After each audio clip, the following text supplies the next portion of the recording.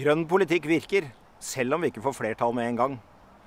Før Miljøpartiet De Grønne kom inn på Stortinget, var de fleste partiene mot klimalov, mot å ta pensjonsfondet ut av kull, mot en grønn framtid på Svalbard og mer til. Så foreslo Miljøpartiet De Grønne det, og vi argumenterte skikkelig.